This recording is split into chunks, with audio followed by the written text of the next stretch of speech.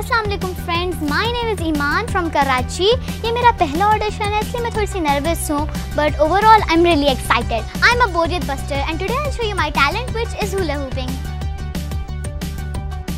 Hope I get to participate and can all know this Boreat Buster. Thanks for watching. Bye.